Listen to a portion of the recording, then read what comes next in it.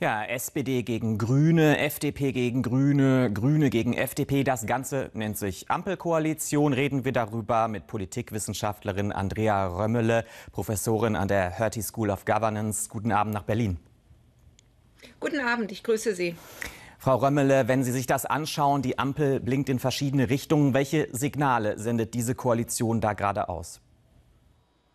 Gut, ich würde mal sagen, das, was wir gerade hören und was wir gerade sehen, ist eine sehr schlechte Mannschaftsleistung. Wir dürfen bei all dem nicht vergessen, dass diese Umlage ja im Bundestag diskutiert wurde und auch verabschiedet wurde. Also äh, die Koalition stand eigentlich geschlossen hinter dieser Gasumlage. Jetzt entdeckt man, dass Fehler drin sind. Man nimmt sie zurück und auch das, und das ist mir ganz wichtig, auch das ist Teil von Politik, dass man erkennt, dass man Fehler macht und diese dann eingesteht und dann zurückzieht. Dass jetzt aber innerhalb der Koalition die SPD auf den Wirtschaftsminister zeigt, die Fehde zwischen zwischen Lindner und Habeck wieder öffentlich ausgetragen wird, just vor den wichtigen Landtagswahlen in Niedersachsen, ist, wie ich schon sagte, keine gute Mannschaftsleistung keine gute Mannschaftsleistung. Und mit wem geht dann diese verkorkste Gasumlage politisch nach Hause? Wem wird das angelastet aus Ihrer Sicht? Also kurzfristig wird es natürlich Robert Habeck angelastet, weil diese, diese Idee, weil dieser, dieser, ähm, dieser, dieses Gesetz aus seinem Haus kam, er dafür verantwortlich äh, ist und war. Aber er hat diesen Fehler ja auch schon relativ früh eingeräumt. Also kurzfristig ganz klar geht sie mit Robert Habeck nach Hause. Wie es mittelfristig ist, hier muss man sich natürlich die Frage stellen, warum gelingt es einem Bundeskanzler nicht, diese Koalition irgendwie zusammen zusammenzuhalten und nach außen hin als Einheit dastehen zu lassen. Dass nach außen hin diese Brüche äh, sichtbar werden, ist kein gutes Signal. Nun hat der Kanzler gerade Corona. Dennoch äh, spielt sich das ja schon seit einer ganzen Weile ab, muss man dazu sagen. Ähm, schauen wir noch mal auf die Grünen. Nun hat der Wirtschaftsminister Habeck erstmals angedeutet, dass der Streckbetrieb der Atomkraftwerke über den Winter wahrscheinlicher geworden ist. Wie groß ist das, wenn man auf die Grünen blickt? Wie groß ist da auch die Sorge aus Ihrer Sicht, dass das die Grünen zerreißen könnte, die AKW-Laufzeiten in den Winter noch zu verlängern? Gut, die Grünen sind schon durch einige rot oder haben einige rote Linien überschritten. Das müssen wir auch mal festhalten. Ich glaube, es muss dann der Parteiführung, es muss dann auch Robert Habeck gelingen, sollte es in diese Richtung gehen, die Notwendigkeit dieses Schrittes auf der einen Seite klar zu machen und aber auf der anderen Seite auch klar zu machen, dass es hier wirklich nur um eine Übergangslösung geht, dass man an dem Grundsatz ähm, weg von der Atomkraft weiterhin festhält. Das ist eine Überzeugungsleistung, das ist eine kommunikative Leistung, die ich Robert Habeck, die ich den Grünen aber durchaus zutraue. Sie trauen es den Grünen zu, das noch zu leisten. Vielen Dank bis hierhin, Andrea Römmele, zu den Irrungen und Wirrungen zur Gasumlage innerhalb der Ampelkoalition. Ja, und dann blicken wir jetzt mal weg von der Ampel hin zu ihm, zu dem Oppositionsführer Friedrich Merz. Da war er wieder.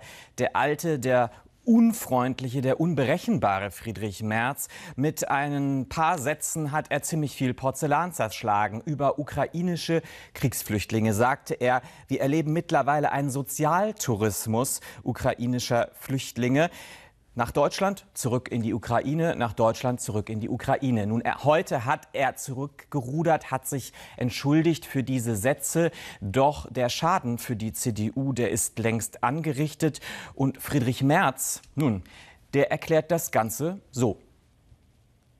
Es hat gestern und heute einige Aufregung äh, um ein Wort gegeben, das ich im Zusammenhang mit den zunehmenden Problemen um äh, Flüchtlinge und Asylbewerber in unserem Land äh, gegeben hat. Ähm, ich habe dieses Wort Sozialtourismus verwendet, nicht in der Absicht, irgendjemandem da zu nahe zu treten oder auch äh, persönlich etwas vorzuwerfen, sondern ich wollte lediglich darauf hinweisen, dass wir zunehmende Probleme haben mit der Unterbringung und auch äh, mit der Betreuung von Flüchtlingen.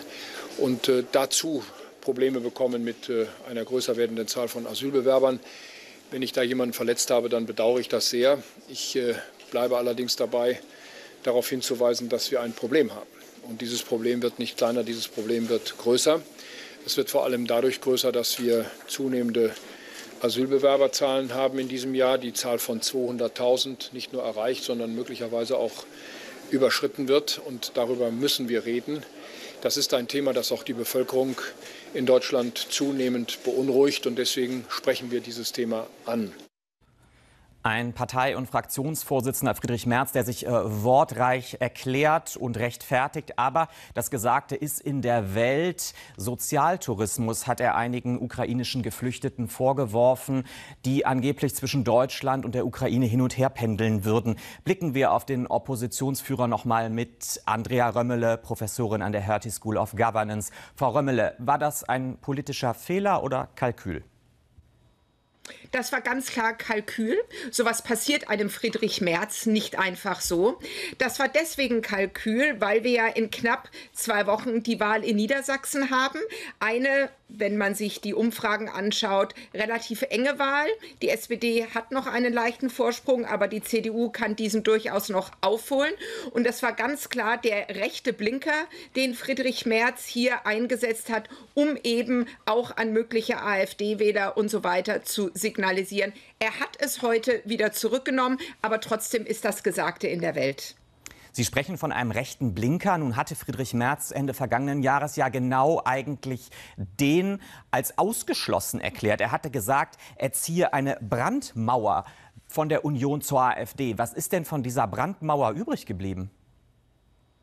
Gut, das glaube ich ihm schon, dass er mit die, dieser Brandmauer eben meint, keine Zusammenarbeit in jeglicher Form mit der AfD. Dazu steht er auch. Aber wir haben Wahlkampf in Niedersachsen, einen relativ engen Wahlkampf. Und da ist eben auch ein solches Wahlkampfmittel probat.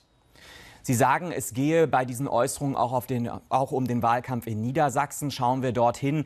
Wie wichtig ist dieses Bundesland? Wie wichtig sind diese Wahlen in Niedersachsen auch mit Blick auf die Mehrheitsverhältnisse und die Regierung in Berlin? Naja, wir haben das ja schon im Frühjahr gesehen, als in Nordrhein-Westfalen und in Schleswig-Holstein die Amtsinhaber CDU-geführte Bundesländer einen Sieg nach Hause gefahren haben, dass das die CDU auch etwas beflügelt hat. In beiden Bundesländern haben wir Schwarz-Grün. Wir haben momentan die Große Koalition in Niedersachsen. Sollte die CDU die Nase vorne haben in Niedersachsen und ein weiteres schwarz-grünes Bündnis nach Hause fahren, hätten sie ein neues Bundesland gewonnen und das dritte Mal in diesem Jahr ein schwarz-grünes Bündnis geschmiedet. Das wäre schon ein ganz klares Signal in Richtung Bundestagswahl, auch wenn es bis dahin noch ein langer Weg ist.